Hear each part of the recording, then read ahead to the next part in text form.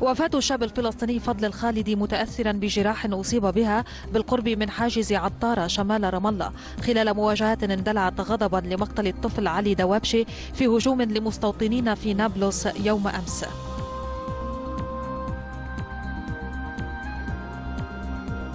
مسؤولون يمنيون يعلنون وصول خالد البحاح نائب الرئيس اليمني إلى عدن على متن طائرة سعودية برفقة عدد من الوزراء اليمنيين القادمين من الرياض.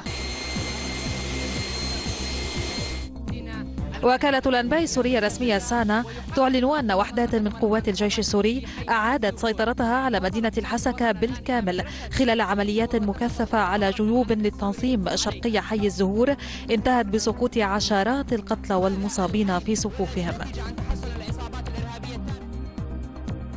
مقتل ثمانية مدنيين وإصابة سبعة آخرين في قصف للطائرات الحربية التركية على مناطق في جبل قنديل في شمال العراق بحسب ما أفاد شهود عيان.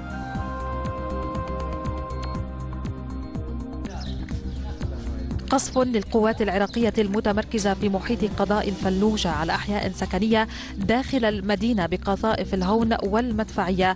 يسفر عن مقتل خمسة مدنيين على الأقل وإصابة آخرين وفق ما ذكرته مصادر أمنية.